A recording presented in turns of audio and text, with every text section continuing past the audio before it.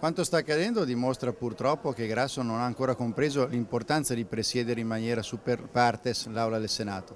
Purtroppo noi ci siamo trovati nella condizione di non vedere rispettati i nostri diritti di opposizione, non potendo dare rappresentanza alle istanze dei cittadini che vogliamo siano inserite in Costituzione. La riduzione del numero dei deputati, come anche l'abbassamento della soglia sul referendum e la possibilità di partecipare al processo legislativo con la scelta diretta dei senatori. Siamo stati imbavagliati e quindi siamo usciti dall'Aula per protesta.